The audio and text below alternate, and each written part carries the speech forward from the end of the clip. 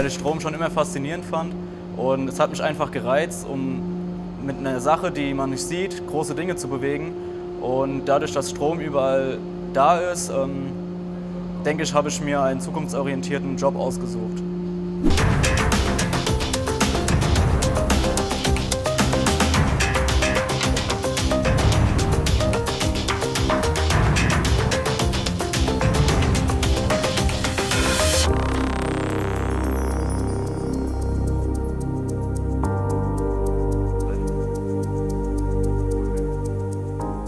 Die Herausforderung liegt darin, dass man die Anlage schnell wieder zum Laufen bekommt, denn jeder Tag, wo die Anlage steht oder jede Stunde, verliert die Firma Geld.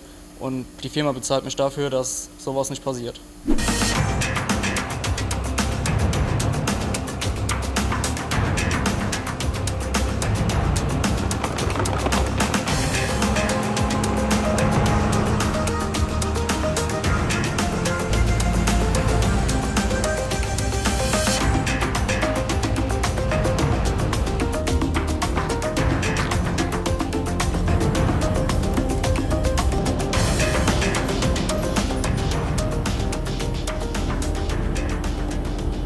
Naja, also da kann es einem niemals langweilig werden, weil wir jeden Tag was anderes zu tun haben.